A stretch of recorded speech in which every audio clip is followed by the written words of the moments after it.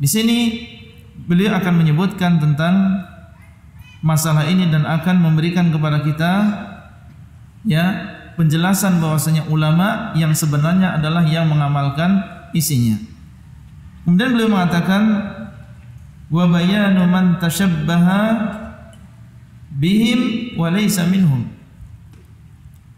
Dan Allah telah menjelaskan di dalam Al-Qur'an orang-orang yang menyerupai para ulama.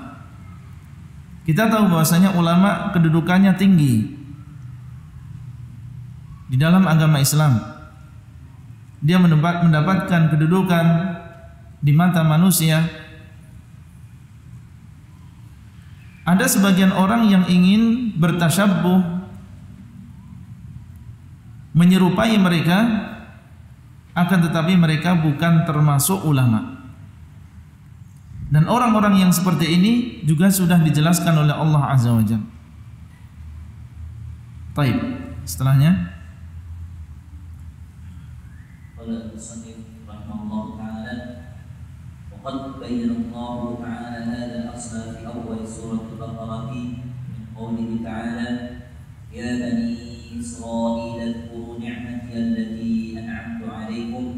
الى قوله قبل ذكر ابراهيم عليه السلام يا بني اسرائيل طيب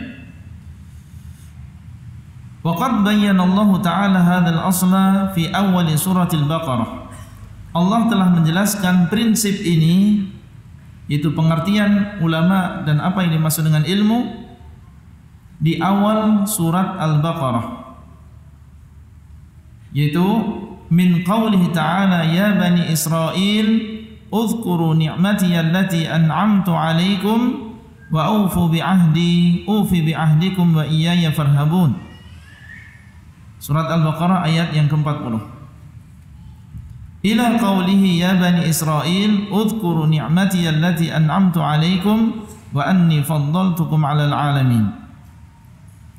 البقرة آيات 122 Sebelum Allah SWT menyebutkan tentang kisahnya Nabi Ibrahim, wa betala Ibrahim. Di dalam kurang lebih 80 ayat ini di awal surat Al-Baqarah Allah SWT menyebutkan banyak tentang sifat-sifat Bani Israel. Kalau kita mencermati sifat-sifat yang Allah sebutkan yaitu sifat-sifat Bani Israel ini maka kita akan mendapatkan dan mengetahui bahwasanya mereka adalah orang-orang yang sebenarnya diberikan ilmu oleh Allah. Dikirimkan kepada mereka para rasul dan banyak nabi yang berasal dari Bani Israel diutus kepada mereka dan mereka membawa ilmu. Diturunkan kepada mereka kitab Taurat dan juga dan juga Injil sehingga mereka sebenarnya adalah orang-orang yang memiliki ilmu. Namun ternyata orang-orang Bani Israel ilmu yang mereka dapatkan, ilmu yang mereka ketahui ini tidak mereka amalkan.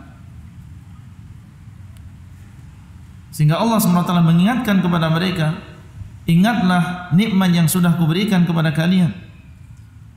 Dan aku telah memuliakan kalian di antara sekian banyak makhluk yang ada di alam ini.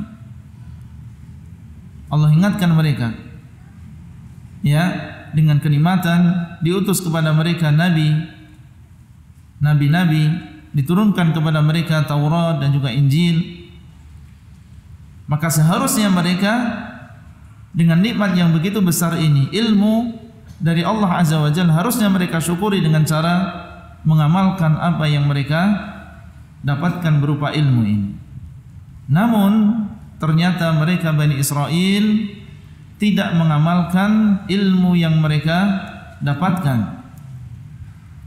Sehingga Allah SWT mensifati mereka dengan sifat-sifat yang jelek